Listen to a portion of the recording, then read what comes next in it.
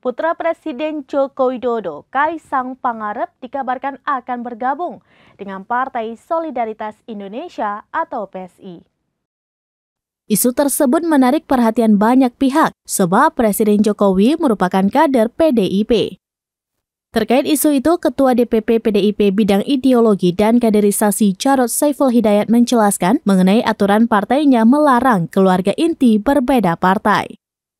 Semua kader yang bergabung dalam partai berlambang benteng moncong putih itu sudah terikat pada aturan. Jarod di kantor DPP PDIP Menteng Jakarta pada Kamis 21 September 2023 mengatakan tidak boleh di dalam satu keluarga inti berbeda partai. Dia menyebut keluarga inti dimaksud yakni suami istri dan anak-anaknya yang belum menikah. Kader dianggap tak bisa melakukan pendidikan politik apabila ada salah satu dari keluarganya berbeda partai.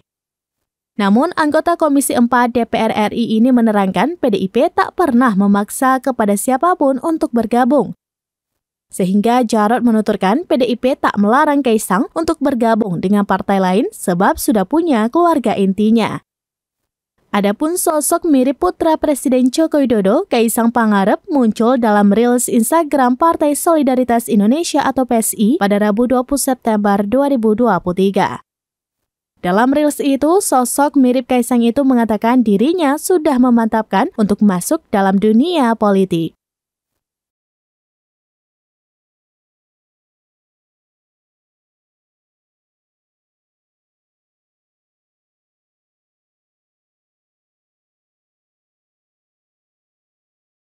Demikian informasi terkini, Syederalun saksikan terus beragam informasi lainnya. Coba like dan share seluruh akun seraminus.com.